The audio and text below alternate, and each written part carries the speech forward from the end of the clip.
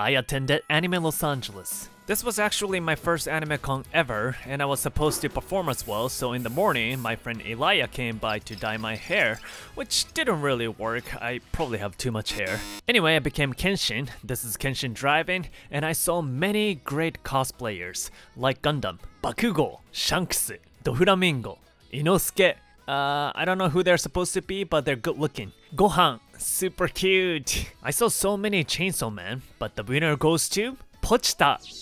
I attended my friend's panel, enjoyed exhibition, watching people play card game, video games, and finally, it was time for our performance. This is my Japanese calligrapher friend Kuni and also taiko player Walter. We all performed together.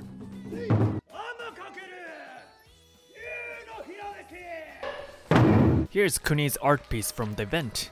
Which AnimeCon should I go next?